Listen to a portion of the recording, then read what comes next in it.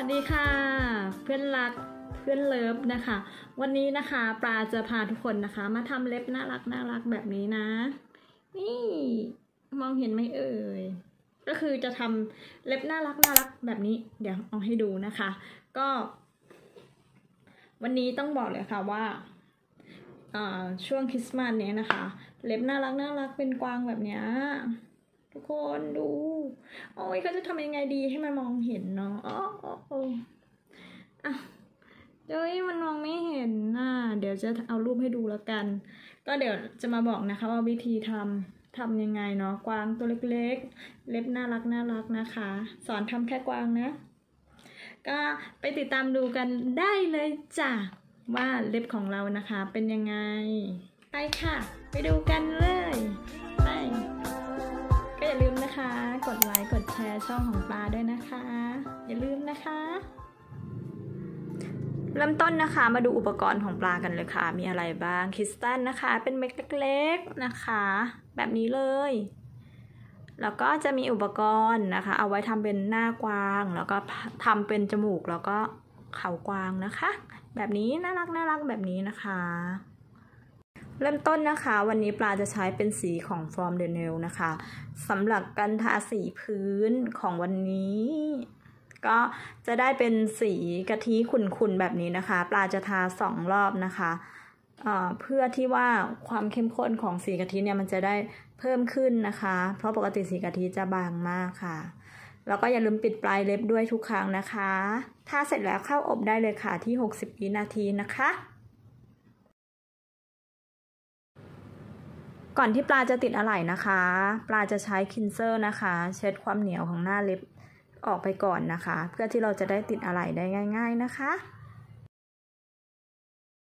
วันนี้นะคะ ปลาจะใช้ polygel นะคะ ในการติดอะไหล่นะคะติดหน้าน้องกวางนะคะ ก็คือจะติดเพชรเนาะใช้โพลีเจลแล้วก็หมุนหมุนหมุนหมุนหมุนหมุนหมุนหมุนหมุนหมุนบนเล็บแบบนี้นะคะ ทุกคน พอหมุนได้แล้วนะคะ เราก็จะนำน้อง กว้างนะคะ ที่เป็นหน้าแบบนี้นะคะ มาติดไว้เลยจ้ะพอติดเสร็จนะ เราก็จะจัดระเบียบให้น้องนิดนึง เพื่อความสวยงามนะคะ แล้วก็ความปังของน้องกวางนี่เองนะคะโอเคจัดระเบียบให้น้องเสร็จเรียบร้อยนะคะ ก็มาตรวจสอบดูนะคะ ว่าเท่ากับอีกข้างหนึ่งไหมถ้าเท่ากันก็เข้าอบไปได้เลยนะคะ ที่ 60 วินาทีนะจ๊ะ เคเรียบร้อยแล้วนะคะ ปลาก็จะมาเตรียมอะไรสำหรับทำข่าวให้น้องกวางน่ารักน่ารักนะคะ ก็เอากันไกเนี่ยค่ะ ตัดอะไรตรงนี้ให้มันเป็นมุมสามเหลี่ยมแบบนี้นะคะ โอเค ค่อยๆตัดเด้อเพราะมันตัดยากอยู่นะอึบเอได้แล้วนะจ๊ะพอได้แล้วนะคะ เราก็จะเอามาให้ทุกคนดูก่อนนะ ว่ามันเล็กจิ๋วขนาดไหนอุปกรณ์ทำเล็บเนี่ย ทบจะมองไม่เห็นอยู่แล้วนะคะ ทุกวันนี้ นี่ค่ะ เล็บจิ๋วมาก แค่นี้เองก็ได้ข่าวน้องกวางแล้วนะคะนะคะได้แล้ว เราก็จะไปเตรียมตัวทำอย่างอื่นเลย ก็เอาโพลีเจลนะคะ มาทาต่อไปเลยค่ะ ทาตรงที่เราทาเอ่อทาตรงที่เราจะติดหน้าเอ่อจะติดข่าวน้องกวางนะคะ อันนี้ก็จะเป็นอะไรอันนึงนะ เล็กน้อยมากเลยเป็นเส้นไหมนะคะ เส้นไหมอันนี้ปลาจะเอามาทำอะไร เอ่ยปลาก็จะมาทำเป็นเขาน้องกวางเหมือนกัน ก็เป็นอะไรที่มันเล็กจริงๆเนาะอุปกรณ์ทำเล็บเนี้ยมันเล็กมากจริงๆแทบจะแบบต้องใส่แว่นกันหรือเปล่าเนี่ยอนาคตพวกเราเนี้ยช่าง ก็พอได้แบบนี้แล้วนะคะ เราก็จะเอาน้องเนี่ยมาติดไว้บนเล็บเลยจ้า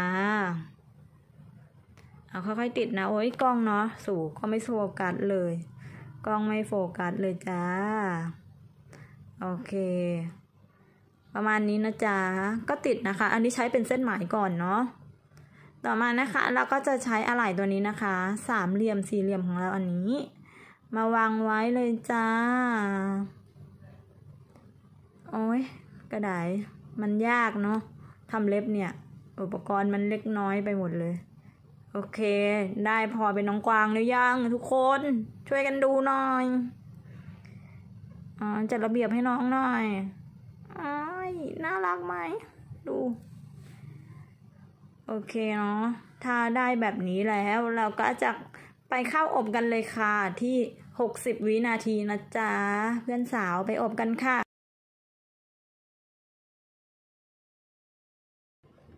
โอเคค่ะ หลังจากที่เราอบเสร็จนะคะ ปลาจะใช้เป็นโพลีเจลนะคะ ก็ใช้โพลีเจลเหมือนเดิมนะคะ มาทาไว้บนเพชรแบบนี้เลยค่ะ หมุนหมุนเป็นกลมๆแบบนี้นะคะ แต้มแต้มไปจ้า ไม่ต้องใช้เยอะนะคะ ใช้นิดเดียวพอนะจ๊ะโอเค พอได้แล้วนะคะ เราก็จะนำน้องคริสตัลนะคะ สีแดงๆแบบนี้ มาทำเป็นจมูกให้กับน้องกวางวางไปเลยจ้า โอเค น่ารักแล้ว พอได้แล้วนะคะ เราก็จะไปเข้าอบที่ 60วิเลยนะจ๊ะ หลังจากที่เราอบหน้าน้องกวางเสร็จนะคะ ปลาจะมาทา hard gel นะคะ เพื่อป้องกันไม่ให้อะไหล่ของเราเนี่ย มันหลุดไวมากกว่าเดิมนะคะ ก็ทาไปเลยจ้า แต่ว่าเว้นหนังใต้เล็บนิดนึงนะจ๊ะ เล็บจะได้ไม่หลุดไวเนาะ ก็ทา hard gel นะคะ ลงไป บนหน้าน้องกวางเต็มๆได้เลยนะจ๊ะ แล้วก็อย่าลืมนะคะ ปิดปลายเล็บให้น้องสักหน่อย เล็บเราจะได้อยู่ทนๆนะคะ ถ้าเป็นที่พึงพอใจแล้วค่ะ ตรวจสอบความเรียบร้อยอีกนิดนึงแล้วก็เข้าอบไปได้เลยนะจ๊ะ ไปอบกันเลยค่ะและมาถึงขั้นตอนสุดท้ายสุดในชีวิตแล้วนะคะ ก็คือการทา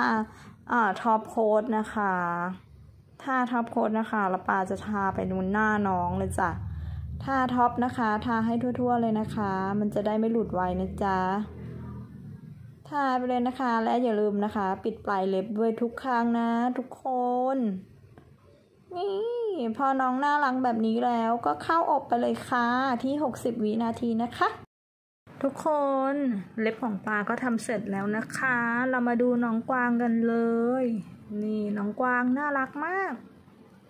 ก็ฝากเพื่อนๆนะคะ ถ้าทำตามได้ก็ทำตามไปเลยนะคะ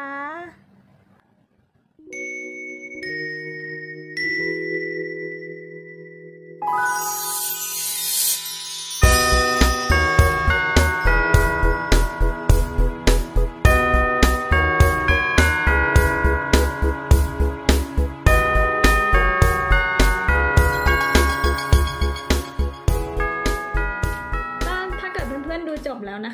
าลืมนะคะ กดไลค์ กดแชร์ กด subscribe แล้วก็กดกระดิ่งติ๊งๆ ให้ปลาด้วยนะคะ แล้วก็ใครทำเล็บได้ก็มาบอกด้วยนะคะ วันนี้ก็จากกันไปแล้วนะคะบายบาย แล้วเจอกันคลิปหน้านะคะ นี่เล็บน่ารักมากเลย มาทำได้นะคะ ร้านอยู่ที่เอ่อธรรมศาสตร์นะคะ สาขาลังสิตนะคะ ก็ชื่อร้านเลอเนลนะคะ ก็ตอนนี้นะคะมีอัปเดตนะคะ มีต่อขนตาแล้วนะคะ ก็มาทำเล็บทำขนตาที่ร้านเลอเนลได้นะคะ ที่สาขาเมืองทองแล้วก็สาขามอธรรมศาสตร์นะคะลังสิตนะคะ มาทำได้นะ บ๊ายบาย แล้วเจอกันใหม่นะ